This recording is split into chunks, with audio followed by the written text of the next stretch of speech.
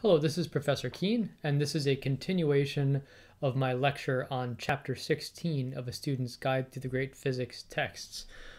We're talking about uh, syringes, siphons, and suckling infants. So the main idea here is that a lot of the kinds of effects, such as suction cups sticking to surfaces and um, wine not pouring readily out of a cask unless there's a hole in the top. A lot of those kinds of effects that had been previously attributed to the idea that nature abhors or avoids a vacuum.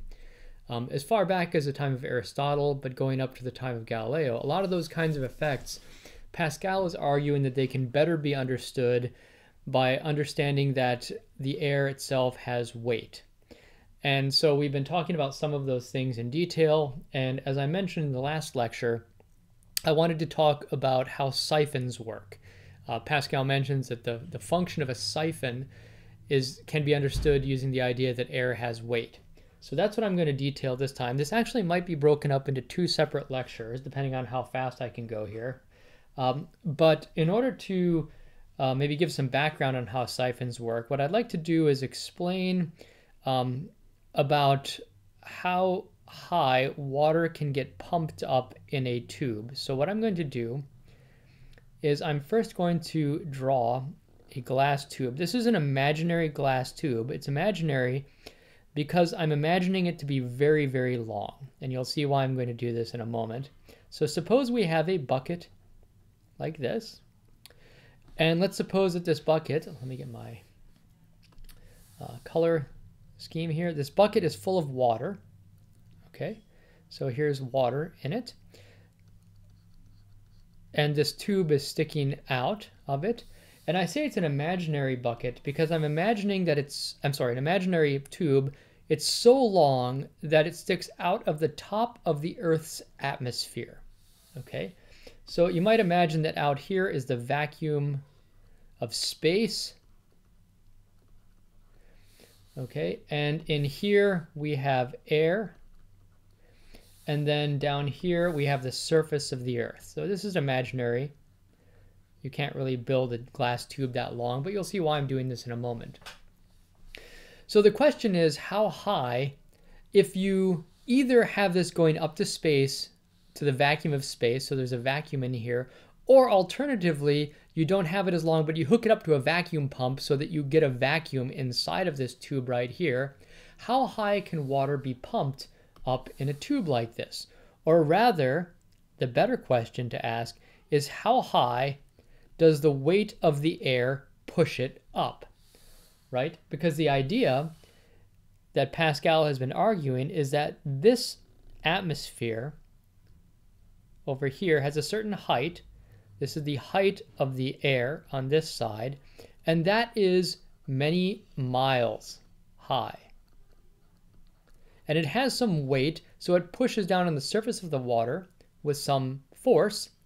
And of course, inside of here, there is no air, and so there's no force pushing down, so there's an unbalanced force.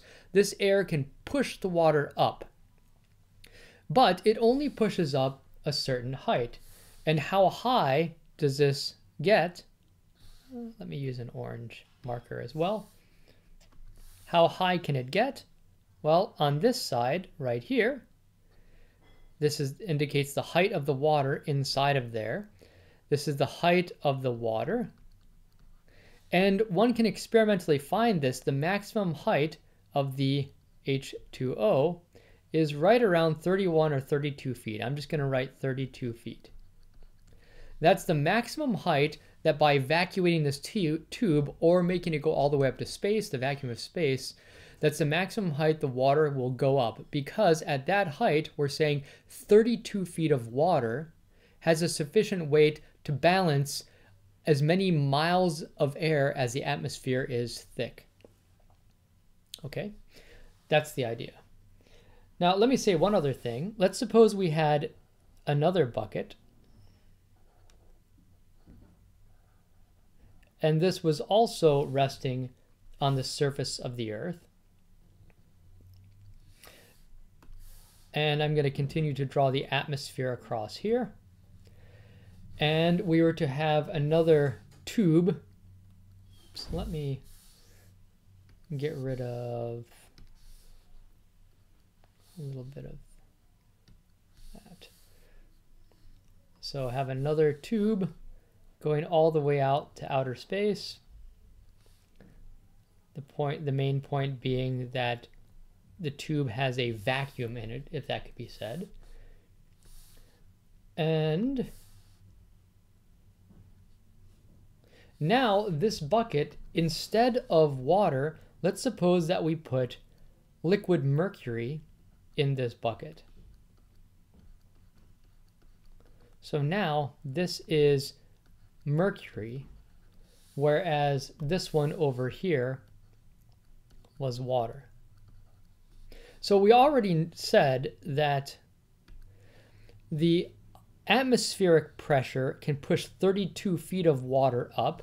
How high can the atmospheric pressure, which is the same in this case as it was in that case, this is the height of the air or the atmosphere, how high can it push the mercury up in the tube? Well, you might guess it's not going to push it up as far, and that's because mercury has a much higher density than water. So how high does it push it up? Well, the maximum height that it can push it up, right here, the height of the mercury, anyone want to guess what it is? The height of the mercury is about 76 centimeters or 760 millimeters. And that number, perhaps if any of you are into meteorology, that might be a familiar um, number to some of you because we sometimes say that the atmospheric pressure is 760 millimeters of mercury. And that means that our atmospheric pressure, that is the weight of our atmosphere, is able to support a column of mercury that's 760 millimeters tall. And so sometimes you'll hear the, the relationship that one atmosphere of pressure is the same as 760 millimeters of mercury. It's a claim about how tall a column of mercury can be supported by the weight of the atmosphere. Okay, so that's by way of background. Now, the main point we want to talk about is how do siphons work? So what I'm going to do is I'm going to draw a siphon. I'm going to describe this qualitatively first, and then I'll probably stop. And then in the next lecture, I'll give a more quantitative explanation of how siphons work. So let's do this. Let's say we have the ground, and let's say we have a platform on the ground like this. And then we put a bucket of water right here. So I'll have a bucket and another bucket down here.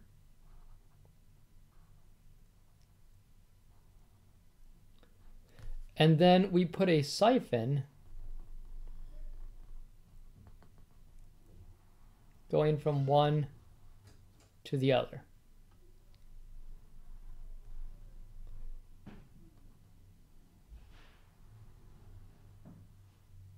Okay. And as I said, we're going to imagine that there's water in here and there's water in here.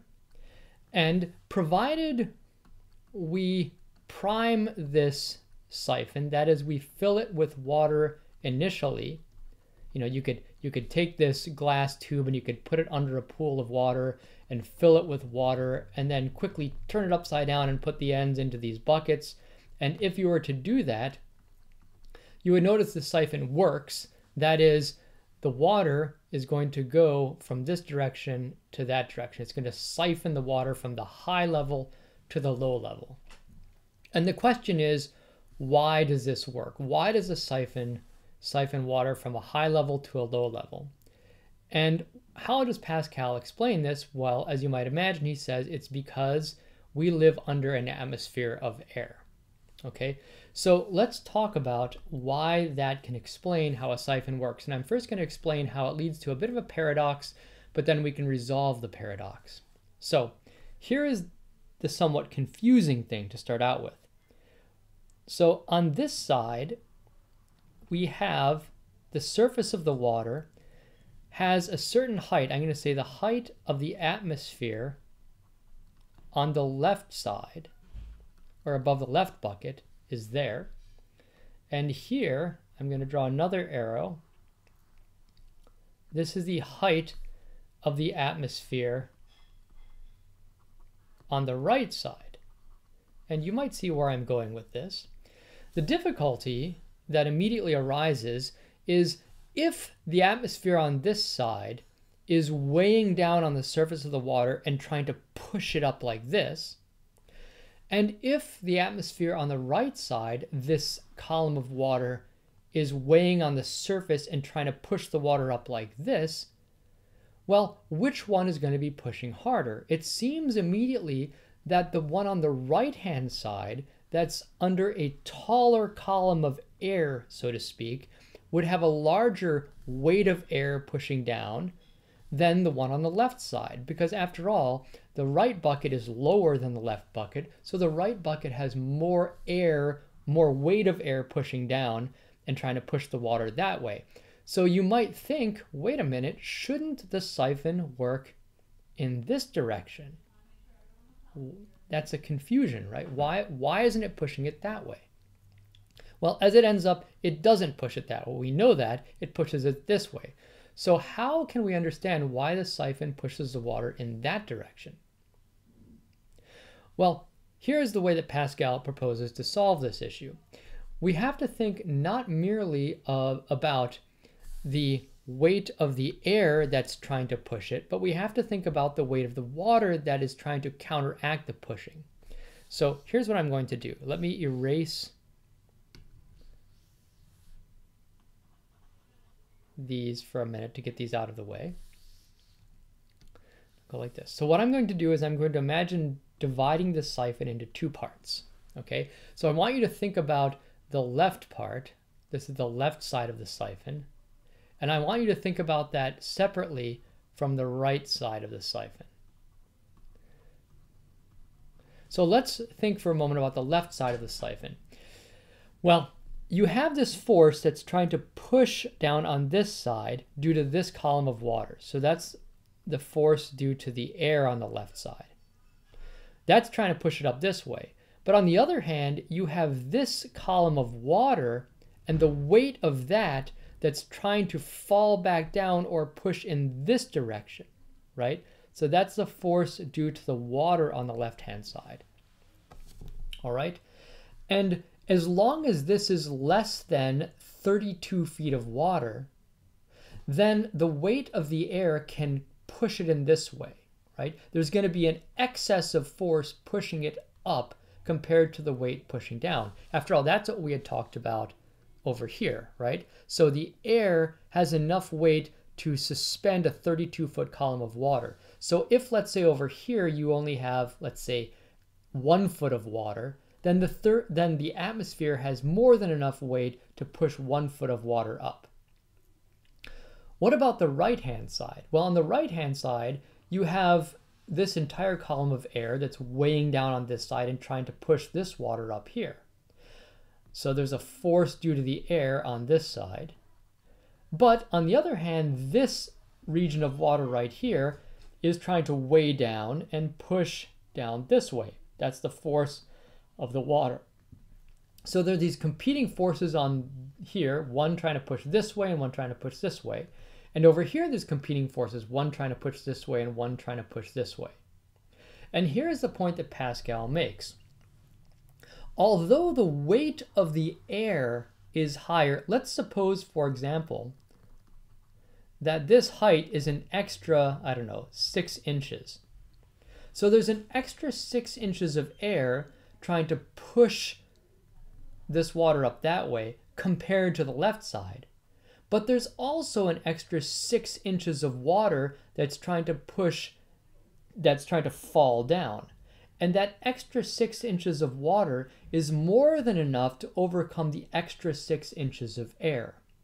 And as a result, there's a net force that is pushing water in this direction.